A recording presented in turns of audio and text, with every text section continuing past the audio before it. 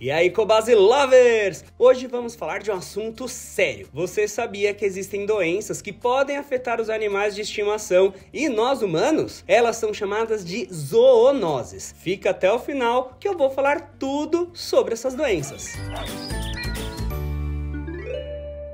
As zoonoses são doenças infecciosas transmitidas de animais para humanos e também dos humanos para os animais. Segundo a Organização Mundial de Saúde, existem mais de 200 tipos de zoonoses e elas são classificadas em dois grupos. Antropozoonoses são aquelas doenças que são de animais e podem ser transmitidas para os seres humanos. Zoantroponoses são as doenças dos seres humanos que podem ser transmitidas para os animais. Segundo a OMS, 60% das doenças infecciosas humanas são zoonoses e 75% dos microorganismos que causam doenças nas pessoas são de origem animal. Além disso, a cada cinco novas doenças humanas que surgem por ano, três delas são de origem animal. As zoonoses são causadas por bactérias, protozoários, vermes, fungos ou vírus. Animais domésticos, como cachorros, gatos, roedores, aves, entre outros, podem servir de hospedeiros destes microorganismos. E a transmissão pode acontecer de várias formas, dependendo de cada parasita. Picadas de insetos, contato com secreções ou objetos de animais infectados, mordida ou arranhões de animais infectados, ingestão de água ou alimentos contaminados por fezes, urina ou saliva. As zoonoses mais comuns são raiva, leishmaniose, esporotricose,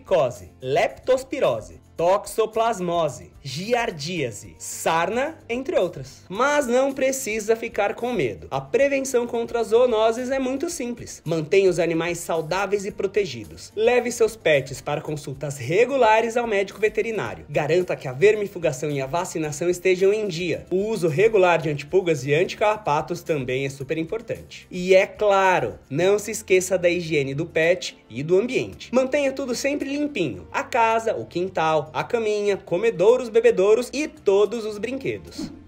Quer saber mais sobre as diferentes zoonoses e como proteger a família toda? Visite o blog da Cobase e consulte sempre um médico veterinário. E não se esqueça de deixar o seu like e se inscrever no canal, além de seguir a Cobase em todas as redes sociais. Cobase, essencial para a vida.